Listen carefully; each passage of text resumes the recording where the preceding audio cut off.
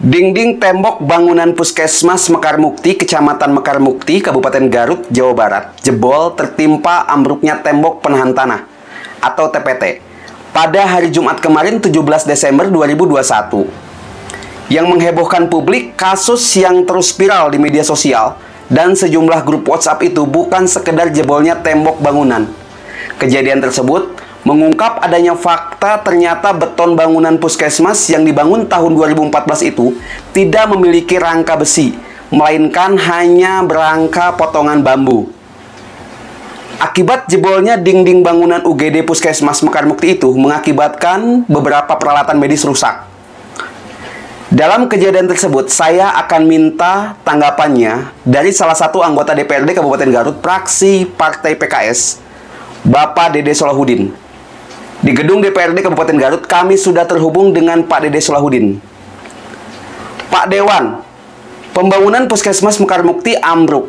Ternyata beton bangunan puskesmas yang dibangun pada tahun 2014 itu tidak memiliki rangka besi, melainkan hanya berangka potongan bambu. Seperti apa tanggapan Pak Dewan? Assalamualaikum warahmatullahi wabarakatuh. Hanya satu, prihatin Pak, kan seperti itu. Nah makanya ini harus dicek, diteliti secara menyeluruh. Jadi proses pembangunan apa pun itu diawasi oleh semua pihak, termasuk masyarakat Pak. Punya hak untuk kontrol sosial terhadap pembangunan di Kabupaten Garut ini, termasuk uh, masalah infrastruktur.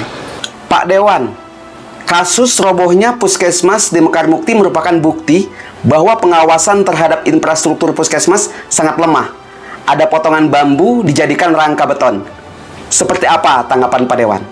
Ini kan kita harus cek lagi secara teknis Pak. Apakah bambu itu memang sebagai tulang penyangga untuk bangunan ya kan? Atau memang eh, tertinggal bambu itu? Makanya ini harus ada investigasi secara detail. Untuk menyikapi permasalahan ini, anda sendiri sebagai anggota DPRD Kabupaten Garut seperti apa Pak Dewan? Insya Allah ini pembelajaran buat kita semua khususnya anggota DPRD bahwa kita harus fungsi pengawasan ini harus kita lakukan secara langsung di kemudian hari. Pak Dewan, apakah anggota DPRD Kabupaten Garut dengan kejadian ini akan mempertanyakan kepada dinas terkait? Ya, pasti kita akan bersikap, kita akan bertanya kepada uh, dinas yang terkait uh, bagaimana ini bisa terjadi. Closing statement. Mungkin ada yang ingin disampaikan kepada dinas kesehatan terkait dengan kejadian ini. Silahkan, Pak Dewan.